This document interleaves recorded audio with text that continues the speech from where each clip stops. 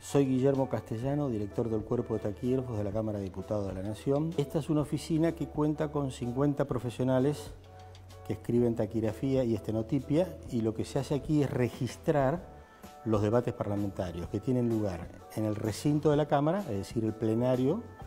de la sesión y las reuniones de comisión. Los taquígrafos eh, ingresan al recinto a tomar y se reemplazan cada cinco minutos, pero hay que tener en cuenta que cinco minutos es aproximadamente una hora después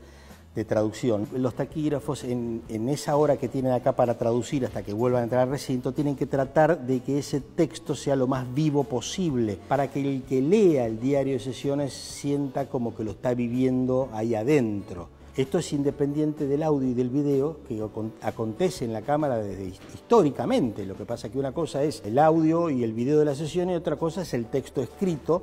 para tener el diario de sesiones donde tiene toda la documentación, no solo los discursos, sino también la documentación que lleva el diario de sesiones como es el proyecto de ley original y la sanción final con las modificaciones que tuvieron lugar durante el desarrollo del debate. Ese diario de sesiones se edita aquí, en esta oficina, y esto para nosotros es la historia del Parlamento.